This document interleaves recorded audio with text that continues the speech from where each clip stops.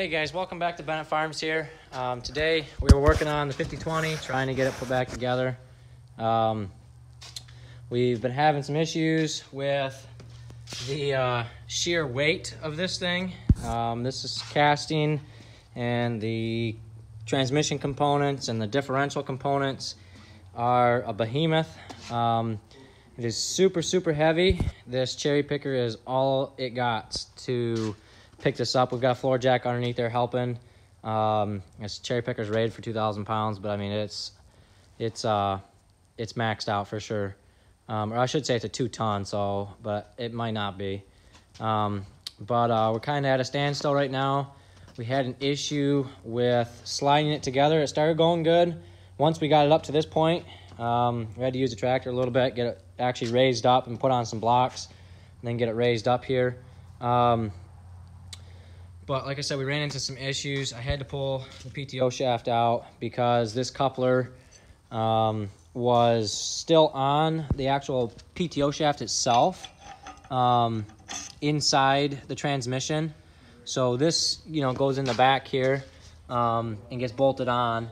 But like I said, this was this was slid in, and it was actually sitting sitting back in this void here. You know, this is where it comes out at, and then it connects connects to right there on the uh, clutch side of it, uh, the PTO clutch, anyways. And I didn't realize that that coupler was, I guess, in there. I mean, I knew it was there, but I didn't realize it would cause us an issue. As we were sliding it together, we were turning the PTO shaft, and we thought we had it lined up.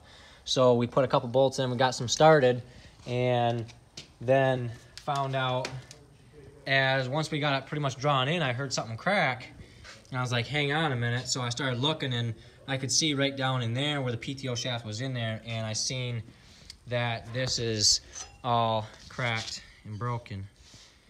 So that's no good. I was uh, rather disappointed. I still am. I mean, it's not it's not a big deal. Uh, hopefully, I can get another one of these.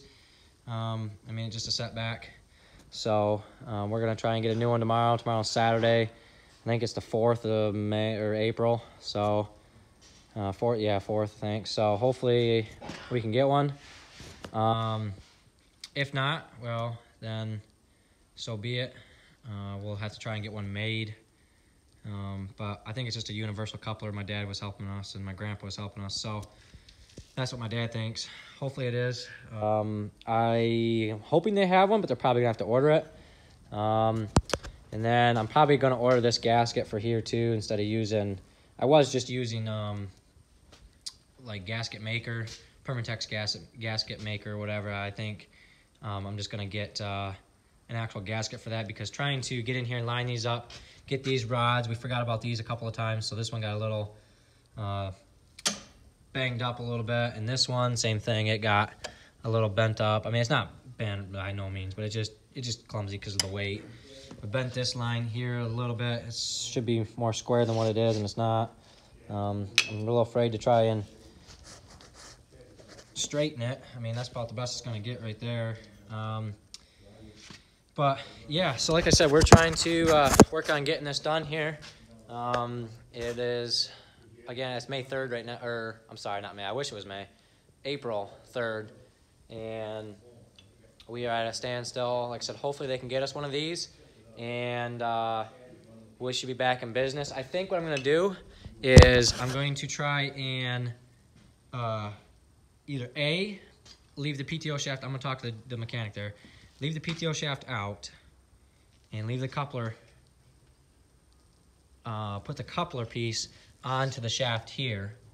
And then once we get it all bolted in, sucked in and everything tightened down, then I'll slide the PTO shaft back in and rotate it till it slides into the cup, the new coupler. Um, and then go from there.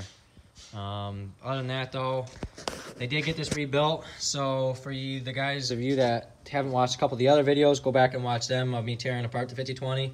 Um, what ended up happening was uh, pinion gear went out on it. I shouldn't say the pinion gear, the bearing went out. Um, I've got the old parts back here. Um, I don't know where the bearing went. I think I have it somewhere, but this is the back side of it here on the what actually broke. So right there, this is, there's supposed to be like a, like another piece that it would be on here, and then the bearing would go on top of that race right there. And the bearing would sit here while it snapped it clean off. Uh, and then when it did that, the pieces got in there, broke a tooth off the, the ring gear.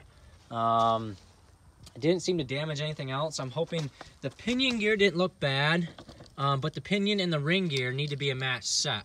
So you can't you can't just put a new ring gear in there. I was going to, um, but there's a big it, if your tolerances aren't your your wear tolerances aren't the same um, you can get a lot of howling noises and you can just get a lot of issues. And you can see this one was scored up pretty good. I mean it's pretty much beat. So and that's from that tooth being broken right there. So i decided to go ahead and buy a set of that. Um, i'm thinking i can maybe sell a few of these pieces here um, i'm thinking i can sell this plate here this whole housing right here um, i'm thinking maybe uh, maybe some of these spider gears here might be able to be sold. This might, you know, be able to go. Uh, they had to put a new bearing quill in it. Um, that bearing quill was the one that was on where the bearing was and got chewed up. So they had to order a new one of those. Um, and like maybe like this. Oh, right here is the bearing that got smashed or that got sheared off. Uh, so for you guys that didn't see it before, this is what that looked like. Uh, you can see the the actual like shaft portion here, and that's it there. So, um, but yeah, I'm thinking maybe I could sell these parts and like this here. I mean, they look okay. They're not damaged or anything. Maybe that piece there. I don't know.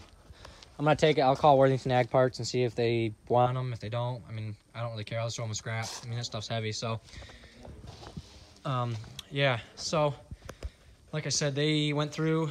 I tore this apart and I took the whole casting to them. And then uh, I had them rebuild it all and go through the tolerances and everything and put that back together. Um, the bearing quill that they replaced is over here. Um, this is the new one. Um, I was a little disappointed in the way uh, John Deere handled this whole rebuild, um, uh, this, this whole rebuild in general. Um, they ended up, um, they ended up going ahead and spending uh, a lot of money on new parts and and uh, a couple of parts that I didn't have that I didn't provide them with. And I told them that they were going to have to buy some bearings and like gaskets and stuff. You know, like the bearings for the transmission, they all had to be replaced. So it's got new bearings in the transmission down here, you know, there and there. Uh, this got new seal on the pump. They went through that. Um, new bearings, obviously, on the inside here and there, down on the bottom. And then, of course, that pinion gear bearings, you know, new. Um, so it's got new bearings in there, but I had provided them with a few of the bearings and a few, I provide them with the, the ring gear, um, or the whole differential, I'm sorry. I, I provide them with that, and they went through and shimmed it all up, did everything. Um, but uh, like I said, they didn't notify me that uh, about the bearing quill being no good. That was almost $300. Um, and long story short, they ended up going over budget by about a $1,000. And so I had to discuss that with the shop manager and I told him, I said, hey, look, I said, you know, I understand that you probably needed to buy these parts to keep it going, but why wasn't I notified? Um, you should have called me and said, hey, um, we're missing these parts or this part is bad, so we're gonna have to order that, but the price is a little steep. It's, you know, $300 or whatever.